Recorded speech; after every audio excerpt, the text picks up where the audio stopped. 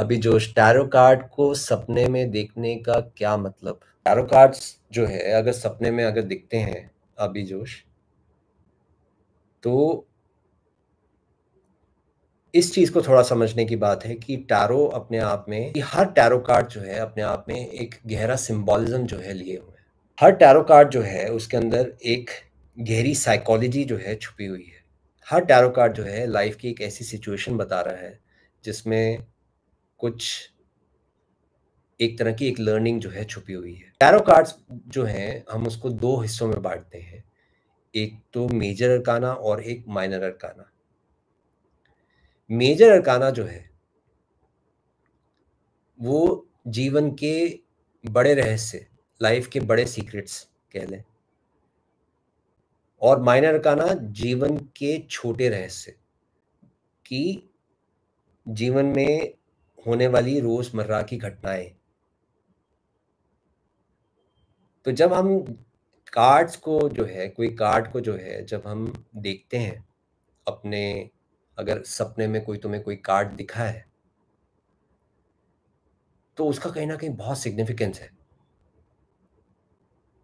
उसका अपने आप में एक बहुत बड़ा मीनिंग है उसके पीछे। ये कार्ड जो है डेफिनेटली कुछ ना कुछ मैसेज दे रहा है। अगर तो तुम्हें वो कार्ड याद है तो उस कार्ड को जो है, वो तुम्हारी लाइफ के अंदर जो है, एक तरह से गाइडेंस का जो है, एक रूप लेकर आया है कि वो तुम्हें जो है कुछ गाइडेंस दे रहा है, वो तुम्हें कोई रास्ता दिखा रहा है। तो जब हम किसी टैरो कार्ड को जो है, अगर अपने सपने में देख रहे हैं तो उसको एकदम से इग्नोर मत कर देना। अगर कोई स्पेसिफिक कार्ड अगर तुम्हें कोई दिखा है तो उसका जो है इसका सिंपली जो है, तुम्हें एक बड़ा क्लैरिटी के साथ कोई एक मैसेज जो है तुम्हारे लिए जो है, उसमें है।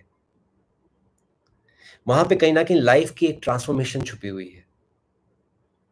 वो इसलिए मैं बोलता हूँ क्योंकि टैरो कार्ड के अंदर जो है, वो डीप स्पिरिचुअल मैसेजेस हैं हमारे लाइफ के। और ईच एंड एवरी कार्ड अपने आप में हर कार्ड के अंदर इतनी पोटेंशियल है कि वो तुम्हारे जीवन को बदल सकता है। तो टैरो कार्ड का सपने में दिखना अपने आप में एक बहुत अपने आप में एक बड़ी घटना है।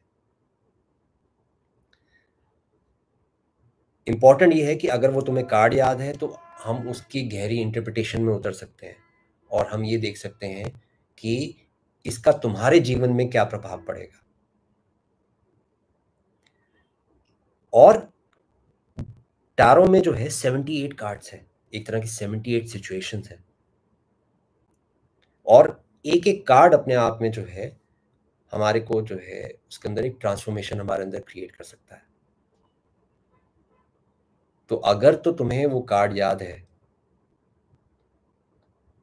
अभी जोश तो कार्ड का मैसेज जो है तुम्हारी लाइफ को ट्रांसफॉर्म कर जाएगा।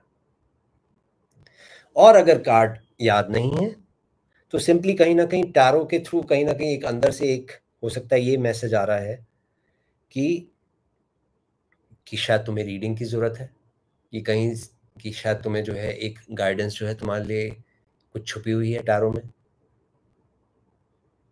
और जब तुम उस रीडिंग को जब लोगे तो तुम्हें जो है एक मैसेज मिलेगा, एक राइट गाइडेंस मिलेगी और रास्ता दिखेगा अपने जीवन का।